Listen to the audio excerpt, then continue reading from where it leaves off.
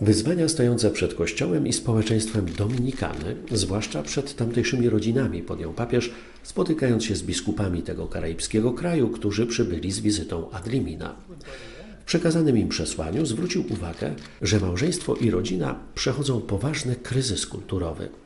Franciszek zachęca biskupów Dominikany, by nie przestawali zabiegać o pojednanie małżeństw i rodzin. Wskazuje na potrzebę prezentowania piękna chrześcijańskiego małżeństwa.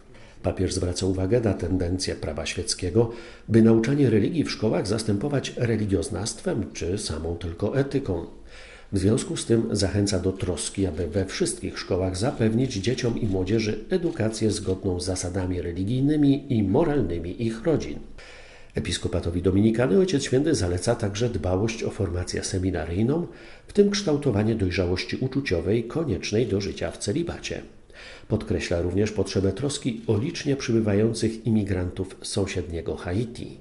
Wszystko, co Kościół czyni dla najbardziej potrzebujących, zapewnia mu wiarygodność i nadaje znaczenia głosowi jego pasterzy, przypomina Franciszek biskupom Dominikany.